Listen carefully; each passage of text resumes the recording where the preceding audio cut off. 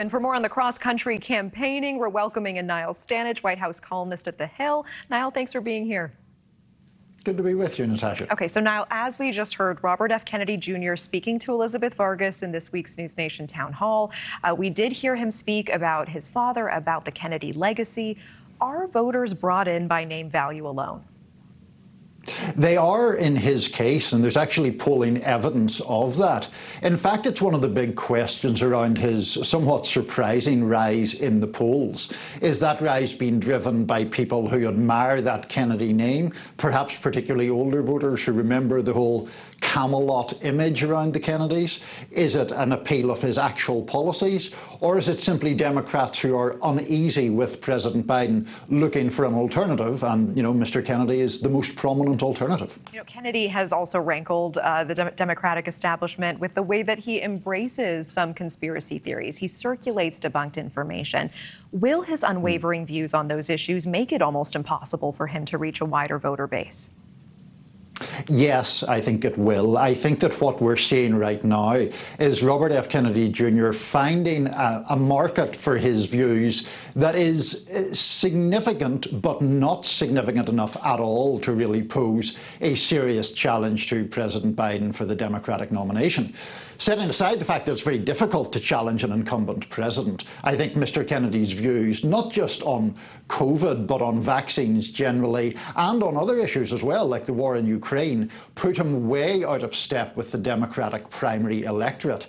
So yes, he has a very fervent uh, niche, particularly of online support, but that there's no real sign that that is translating to a really huge or really, from, from President Biden's perspective, dangerous level of support. Okay, I, I appreciate that.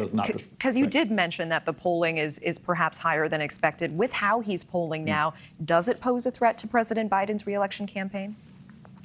Not unless it grows significantly higher, and I don't think that's going to happen for the reasons that we were just talking about. Right now, RFK Jr. is around 15, 20% in polls. Actually, a couple of recent polls, he has come down slightly. So, look, it is, as I say, hard to beat an incumbent president from your own party anyway. I, there is no tradition of incumbent presidents even debating challengers from within their own party. I know from my own reporting the White House is eager to ignore RFK Jr. to the extent extent that they can. And I don't see right now evidence that his support is growing in a way that would endanger that strategy. Okay, appreciate that perspective. Let's talk about President Biden. Um, yesterday, he was blasting the Supreme Court's decision to block his student loan debt forgiveness plan. Let's listen to part of that quickly.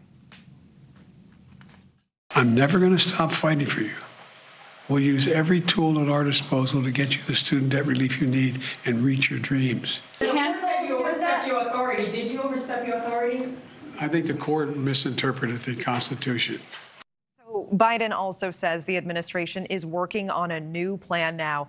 Do we know what direction this new plan will take, and, and will it work and when? It has two arms to that plan, and we know more about one than the other.